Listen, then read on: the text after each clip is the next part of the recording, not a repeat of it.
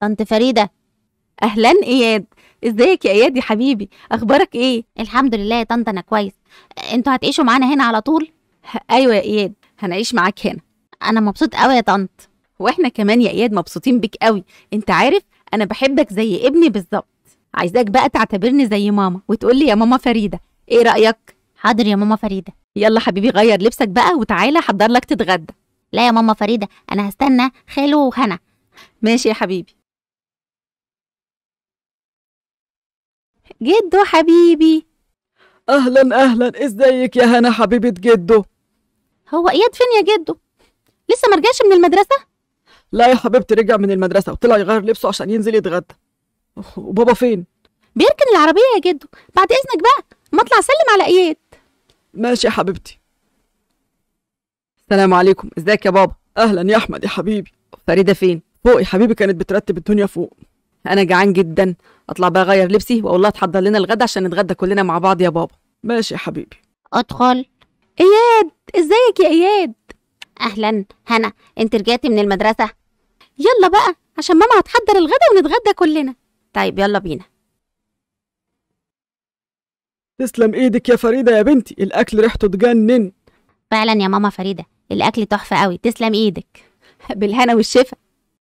إن شاء الله دايما اكلي يعجبكم. طب يلا بقى ناكل. بسم الله. أعمل لكم بقى عصير فراولة تشربوه بقى وانتوا بتتفرجوا على التلفزيون. يا ريت يا ماما فريدة أنا بحب الفراولة قوي.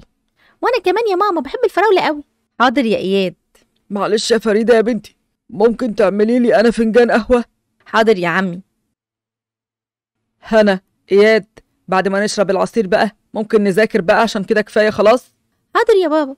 حاضر يا خالو. هنا. إياد أنا عايزكم يا ولاد تذاكروا وتبقوا مجتهدين وشاطرين. عايز أدخلكم الكليه اللي أنا بحبها. يا جدو أنا بحب كلية الفنون الجميلة. أنا عايزة أبقى رسامة. رسامة؟ لا يا بنتي. لا لا لا أنا هختار لك كلية تانية. وأنت كمان يا إياد هدخلك الكلية اللي أنا بحبها.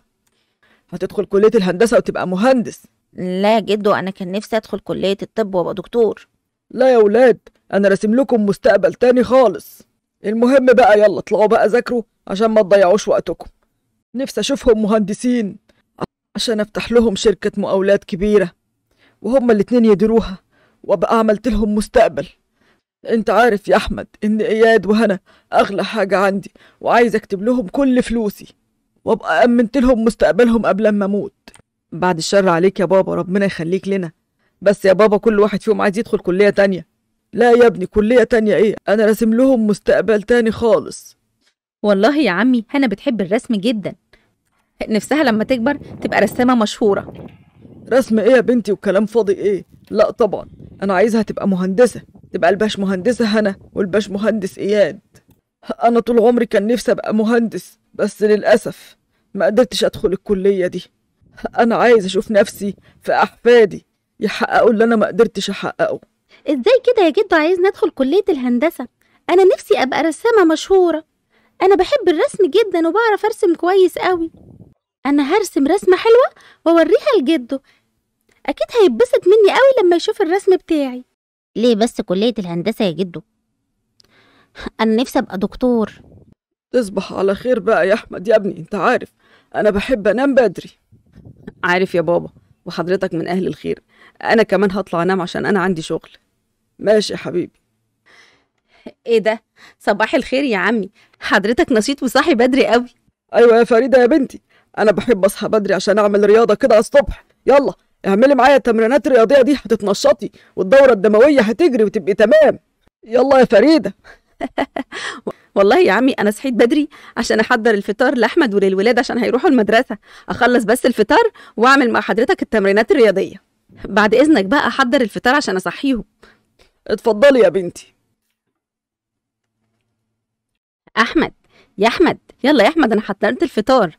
اصحى بقى يا أحمد هتتأخر على الشغل. أيوه يا فريدة حاضر حاضر. أنا صحيت خلاص أهو. صباح الخير. الولاد صحي ولا إيه؟ أيوه طبعا صحتهم ولبسوا عشان ينزلوا يفطروا ويروحوا المدرسة. طيب قولوا لهم بقى ما يعملوش دوشة عشان بابا ما يصحاش. عايزة أقول لك إن عمي صاحي من بدري جدا وبيعمل التمرينات الرياضية بتاعته كمان. بابا ده نشيط جدا. أنا لو مكانه كده وما عنديش شغل كان زماني نايم براحتي خالص. طب يلا ننزل نفطر بقى. صباح الخير يا جدو. صباح الخير يا جدو. أهلا. صباح الخير حبايب جدو. خدوا يا ولاد. مصروف حلو أهو عشان تروحوا بيه المدرسة. يلا. دي فلوس كتير قوي يا جدو. مش كتير ولا حاجة يا هنا يا حبيبتي. اصرفوا واتبسطوا. شكرا يا جدو. شكرا يا جدو. صباح الخير يا بابا. صباح الخير يا أحمد. إياد هتيجي اوصلك المدرسة في طريقي ولا هتركب الباص؟ لا أنا هركب الباص يا خيرو. طيب يلا يا هنا عشان أنا أوصلك. قبل ما أتأخر على شغلي. عشان الباص مش هيجي هنا لأن المدرسة بعيدة. طب وليه بقى المدرسة بعيدة؟ ما ننقل لها المدرسة مع إياد ويبقوا الاتنين مع بعض. بس يا عم هي متعودة على المدرسة بتاعتها. لا لا. يا أحمد امشي في إجراءات النقل ننقلها في المدرسة مع إياد والمدرسة هي قريبة مننا ومدرسة كويسة. يا ريت يا هنا تبقي معايا في نفس المدرسة وكل يوم نروح المدرسة مع بعض. لا مش هينفع عشان أنا اتعودت على مدرستي وأصحابي ما أقدرش أسيبهم. لا يا هنا ما ينفعش. انت هتنقلي المدرسة التانية دي عشان تبقى قريبة مننا يا بنتي. يا جدو ارجوك ما ينفعش خالص. أنا بحب أصحابي وما ينفعش أسيبهم. أنا شايف إن الأفضل إنك تنقلي من المدرسة. أحمد امشي في إجراءات النقل بقى وخلص الورق. طب يا بابا خلاص يا أحمد طيب إيه بقى؟ يا عمي طب نخلص السنة دي عشان هي السنة دي متعودة على المدرسة وأصحابها فبدل ما تغير المدرسة وما تعرفش تركز وتذاكر هيبقى مكان جديد. نبتدي من السنة الجاية. بلاش السنة دي. لا عادي. هتتعود هتتعود. يا جدو أرجوك. خلاص بقى يا هنا. يا بابا أرجوك بلاش تنقلي من المدرسة اللي أنا فيها يا بابا. وقول لجدو لأ. ما ينفعش يا هنا. أنا مش عايزه أزعل جده. هنعمل إيه بقى؟ هو برضو خايف عليكي وعلى مصلحتك. هتبقي في المدرسة قريبة وتروحي وترجعي مع إياد في الباص. يا بابا يعني أسيب صحباتي. يعني هم صحباتك هيروحوا فين؟ يبقى كلميهم في التليفون وأنتوا بتخرجوا مع بعض في النادي. مش هتروحوا بعيد. بس بصراحة أنا ما ينفعش أزعل بابا يا هنا. جده راجل كبير ولازم نسمع كلامه. حاضر يا بابا يلا تعالي اركبي العربية بقى عشان ما نتأخرش على المدرسة. أما نادي بقى على هنا وإياد واذاكر لهم. لازم يبقوا شاطرين ويجيبوا مجموع كبير. يا هنا يا إياد. يا فكرتوني يا أولاد بأيام زمان. وأنا قدكم كده. كنت بحب أذاكر قوي. وكنت بحب مادة الرياضيات جدا. يعني حضرتك كنت بتحب تذاكر يا جدو؟ وبتحب تذاكر math؟ هي مادة صعبة قوي بس أنا برضو بحبها. آه طبعا يا بنتي أنا بحب ال math جدا. بس على أيامنا ما كناش بنقول math بقى. كنا بنقول إيه؟ مادة الرياضيات. طب ليه حضرتك يا جدو ما دخلتش بقى كلية الهندسة وانت شاطر في مادة الرياضيات؟ أصلا أنا يا ابني تعبت أيام الامتحانات وما عرفتش أذاكر وللأسف ما جبتش مجموع كبير. بس أنا بقى هشوف نفسي فيكم. هعوض السنين اللي فاتت. أنتوا هتدخلوا كلية الهندسة وتبقوا أكبر مهندسين. يلا بقى بلاش نتكلم كتير عشان أشرح لكم. اللي هيجاوب بقى معايا وهيفهم الدرس كويس هخرج أنا وهو. طيب خلاص يا جدو يلا نركز بقى. أنا هفهم الدرس عشان تخرجني. وأنا كمان يا جدو هفهم الدرس بتاعه عشان تخرجني أنا كمان. مش ملاحظة يا فريدة إن من بعد ما جينا هنا نعيش مع بابا حالته النفسية اتغيرت وبقى مبسوط ووقته مشغول ومش حاسس بملل ابدا. وإياد كمان. أيوة يا أحمد فعلا أنا ملاحظة كده.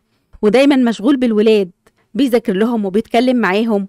والولاد بيحبوه ومتعلقين بيه جدا. على فكرة بقى أنا متضايقة عشان حولت من المدرسة بتاعتي. أنا مش متعودة على المدرسة الجديدة. إن شاء الله يا هنا هتتعودي عليها وتحبيها. معلش يا هنا خلاص ما تزعليش بقى. ما إحنا قلنا هتتعودي على المدرسة وهيبقى ليكي صحاب. إياد عايزك تاخد بالك من هنا وما تخليش حد يزعلها. حاضر يا جدو طبعا. طب يلا يا ولاد بقى روحوا اركبوا الباص بقى عشان ما تتأخروش. والله يا أحمد كان المفروض ما نحولهاش السنة دي. كنا قلنا لعمه ويحول لها السنة الجاية وخلاص. معلش يا فريدة أنت عارفة بقى بابا راجل كبير وأنا مش بحب أزعله. عارفة. ربنا يستر بقى والبنت تركز وتجيب درجات كويسة آخر السنة. إن شاء الله يا فريدة ما تقلقيش. ما أنت عارفة بابا مش سايبهم بيذاكر لهم كل حاجة. أيوة عندك حق. معقول كل ده لسه نايمين. هو عشان يعني النهارده أجازة ما يصحوش بدري؟ لا طبعا لازم يصحوا بدري. أنا هطلع صحي البيت كله ويعملوا معايا التمرينات الرياضية بتاعتي.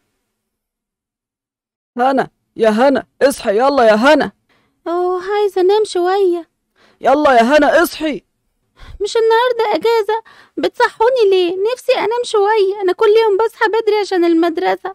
هنا أنا قلت تصحوا يعني تصحوا. يلا. أما أروح أصحي إياد. إياد يلا يا إياد بلاش كسل واصحى. إيه؟